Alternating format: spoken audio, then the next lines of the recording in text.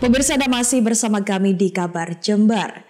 Puluhan orang dalam gangguan jiwa atau DGJ di lingkungan Pondok Sosial Kabupaten Jember antusias mengikuti berbagai macam lomba untuk memeriahkan peringatan HUT ke-78 kemerdekaan Republik Indonesia. Keceriaan pun terpancar dari wajah para ODGJ selama perlombaan berlangsung. Beginilah keseruan berbagai jenis perlombaan yang digelar dalam memperingati HUT ke-78 kemerdekaan RI yang digelar petugas Liposos Dinas Sosial Kabupaten Jember.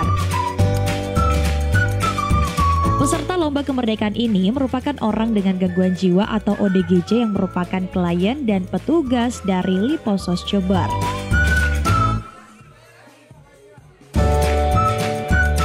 Meskipun mereka masuk dalam kategori orang yang memerlukan perawatan dan perhatian khusus, namun mereka sangat bersemangat dalam mengikuti berbagai perlombaan, seperti lomba balap membawa air mineral gelas dan lomba balap kelereng beregu klien dan petugas.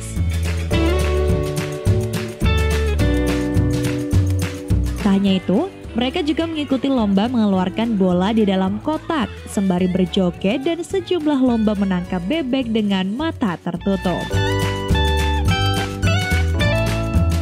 Selain untuk memeriahkan HUT Kemerdekaan Republik Indonesia, kegiatan ini juga sebagai upaya menjalin kedekatan antara klien dengan petugas serta bagian dari relaksasi bagi klien guna menghindari kejenuhan serta sebagai upaya untuk menambah daya ingat klien agar dapat segera normal kembali kejiwaannya.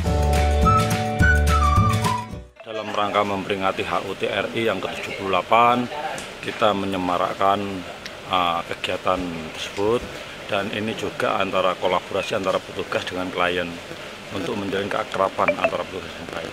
Untuk 17-an insya Allah rutin kita sudah empat tahun ini melaksanakan kegiatan lomba. Saat ini Liposos Dinas Sosial Jember merawat sebanyak 23 orang ODGJ terlantar, 7 orang ODGJ lanjut usia, 13 orang lanjut usia terlantar, dan 5 orang terlantar. Dari Jember, tim liputan mengabarkan untuk KJTV.